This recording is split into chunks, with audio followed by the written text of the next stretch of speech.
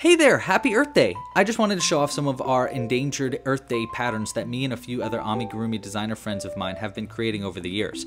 There are nine different patterns all based on a different endangered creature, and we'll be adding a few more over the next couple of weeks.